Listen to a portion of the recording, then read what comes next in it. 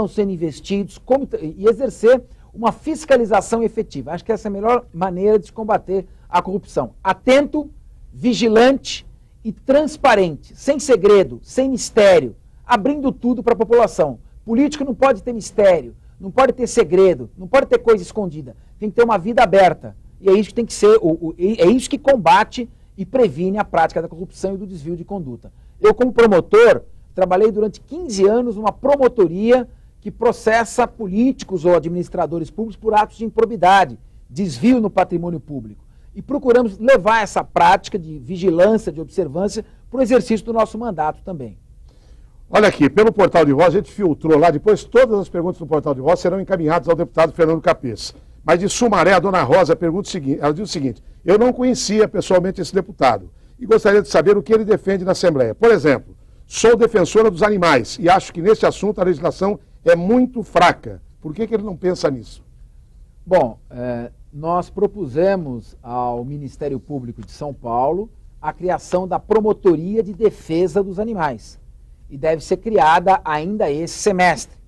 Temos um, um, um, projeto de lei também que define quais são os atos considerados crueldade contra animais. Estabelece punição àqueles que assim o fazem. Então nós temos atuado também nessa linha. E se você entrar no nosso site, que é o nosso nome, né, www.fernandocapes.com.br, você vai ter oportunidade de verificar toda a nossa atuação na defesa dos animais. Sejam animais domésticos, sejam animais silvestres. Deputado, o Rui está nos vendo aqui em Campinas e pergunta o seguinte: o salário da PM está defasado. O que o senhor pretende fazer para melhorar o nosso salário, pois sabemos que o senhor defende esta causa? Bom, é, se você pegar nossa, as nossas propostas, eu tenho pelo menos, pelo menos, umas 40 sugestões para melhorar as condições de trabalho e os vencimentos das polícias, seja pela criação de adicionais. Eu propus em 2007 a incorporação do adicional de local de exercício aos vencimentos do policial militar e civil, para que quando ele se aposente, ele não perca esses adicionais. Eu consegui transformar em lei a manutenção do adicional enquanto o policial ferido em serviço está se recuperando. A, consegui transformar em lei uma proposta também que impedia que a, a, a instalação de sindicância acabasse com a licença-prêmio do policial. Estamos agora lutando para antecipar para 25 anos a aposentadoria das policiais femininas e criar o posto imediato também para os oficiais, além de ter mantido o posto imediato para os praças, que chegou a ameaçar a ser retirado e nós não deixamos. Tem muita coisa no nosso site, tem, olha, não faltam sugestões, indicações para melhoria de condições de salário e trabalho para as nossas polícias, militar e civil. Como é que eu faço para entrar no site do deputado? Olha, Qual é o endereço? www fernandocapes, com Z, com Z fernandocapes.com.br. Então, o site é o meu nome. Lá tem todos os projetos, as sugestões, tudo que você pode, tudo que você necessita. O pessoal da Switch é muito bom, já está lá na tela já. Já está o endereço lá para quem quiser ver. Tá Mas vamos voltar às ruas, as pessoas estão sequiosas para fazer perguntas. Vamos abrir o canal direto das ruas de Campinas para que o deputado responda ao vivo aqui na TVB Record. Eu sou Kátia, sou monitor escolar. Gostaria de saber do deputado qual o projeto que ele tem para Campinas em relação à habitação. Bom, habitação é você é conseguir financiamento, crédito para a casa própria. Esse crédito se consegue tanto por meio do Estado quanto por meio da União. Não há muito segredo. É obter o crédito, estimular a políticas habitacionais, promover reformas urbanas, urbanísticas. Agora, isso incumbe fundamentalmente aos poderes executivos. Isso é muito importante dizer.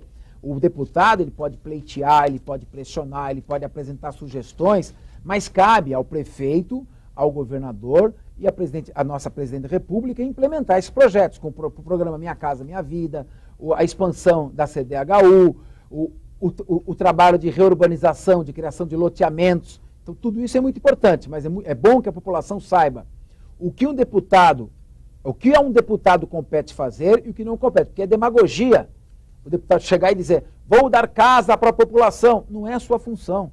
Essa é a função do Poder Executivo. Cabe ao deputado fiscalizar e cobrar essas políticas. É isso que eu me proponho a fazer e, aliás, é o que eu tenho feito ao longo desse meu mandato. Bom, antes de encerrar esse bloco, rapidinho aqui, a região está vendo o programa, o Roberto, lá de São Pedro, pergunta o que pode ser feito futuramente em relação às pessoas que são presas indevidamente.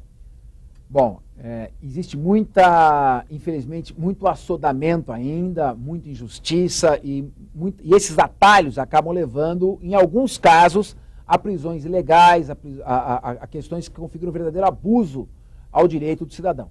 Hoje, o Código de Processo Penal já estabelece o direito à indenização por erro judiciário. E caso haja uma, um, uma atuação desastrosa que provoque uma clamorosa injustiça, o cidadão ele tem direito de recorrer ao judiciário. Se ele não tiver condições de contratar um advogado, um defensor público faz esse trabalho para ele, ingressar com uma ação pedindo uma indenização. É claro que nada vai compensar o trauma sofrido, os dias de liberdade suprimidos, o atentado à honra, mas a lei prevê, desculpe, a indenização por danos morais e materiais como mecanismo de compensação a esse tipo de lesão, a esse tipo de dano. Então, é procurar o defensor público, o representante do Ministério Público ou seu advogado e ingressar com uma ação na justiça pleiteando a indenização. Pode demorar, mas acaba vindo e o sujeito tem pelo menos uma satisfação, uma compensação por aquele mal sofrido. Muito bem, fazemos a última pausa do Notícias em Debate. O programa está passando rapidinho nessa conversa de hoje. Estamos mantendo com o deputado estadual Fernando Capês, do PSDB. Mas dá tempo de você ligar. Voltamos já.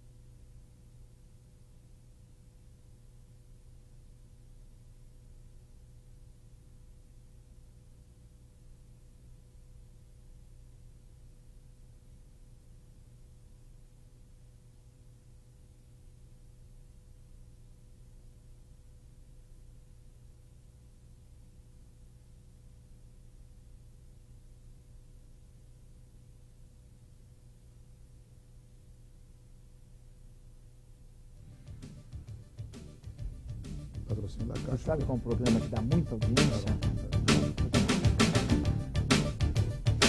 E entramos agora no último bloco do Notícias e Debate. Hoje, aqui transmitido pela TV Record, pela TVB Record, em Campinas, estamos recebendo o deputado Fernando Capês, do PSDB. O Walter Lopes, lá de Araras, ligou dizendo que em Araras a Polícia Militar se uniu com a Guarda Municipal e a Civil e o resultado tem sido positivo. Bateu com o que eu acabei de dizer, exatamente. É uma experiência bem sucedida e a Polícia Civil também tem feito um trabalho fantástico em Araras. O Aparecido mora em Cordeirópolis. Também ligou perguntando o que o senhor poderia fazer para resolver os processos ganhos na justiça contra a antiga FEPASA. Uh.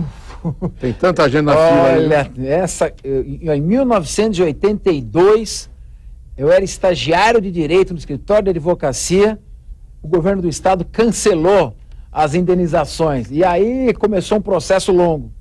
É, infelizmente, é algo que nós temos que protestar, é algo que está errado. De Santa Bárbara do Oeste, liga o Antônio Matias, perguntando o que o senhor tem a dizer sobre as vendas dos patrimônios da extinta Telesp. Olha, eu sou a favor, eu, eu, penso que a privatização, ela quando feita nas partes que oneram o Estado, é um benefício. Nós começamos a garantir a estabilidade econômica, desonerando o Estado dos locais em que ele não deveria se encontrar acabando com cabides de emprego, acabando com gastos excessivos, com é, superfaturamentos onde não precisava estar o Estado. E ao aliviar essa carga do Estado, no campo do, é, é telefônico que nós tivemos, eu lembro do tempo que a gente ficava quatro noites na fila para conseguir uma linha telefônica. Hoje, a, linha telefônica era um bem, um patrimônio, um investimento. Hoje não, você consegue facilmente a telefonia móvel, a telefonia fixa, hoje ela tem concorrência, o Estado não gasta nada com isso e tem sido positivo. Então, quando bem feita e quando desonera o Estado da onde ele não deveria se encontrar, a privatização é bem-vinda. Olha, nós temos muitas perguntas aqui, mas rapidinho, tem uma para o senhor responder em 30 segundos, é o Celso de Campinas. O servidor público estadual está sem aumento de salário. Existe algum projeto para aumentar o salário do servidor público? Bom, você sabe, Celso, que é iniciativa privativa do Poder Executivo qualquer projeto que leve à elevação dos salários. Eu soube que o governo pretende dar reajustes acima da inflação. Isso já está foi prometido e vai ser cumprido. Todos, é, você pega a inflação, o reajuste será acima da inflação. Agora, nós temos muitos servidores no Estado, a maioria deles mal remunerada, e nós temos que, que tomar providência a respeito disso. Infelizmente o tempo passou muito rápido e as perguntas que não foram ao ar por falta de tempo também serão entregues ao deputado Fernando Capês e com certeza pessoalmente ou através da assessoria as pessoas vão ter uma resposta, especialmente aquelas que não foram para o ar. Fernando Capês, deputado estadual, nosso entrevistado de hoje. Deputado, muito obrigado pela gentileza. Espero que o senhor volte em breve aqui. Adorei o programa, passou rápido, quero voltar muitas vezes. Obrigado pela obrigado. gentileza, deputado. E para você, uma boa tarde. Vem aí o Tudo a Ver pela TVB Record. E até amanhã, às duas, logo após o Balanço Geral.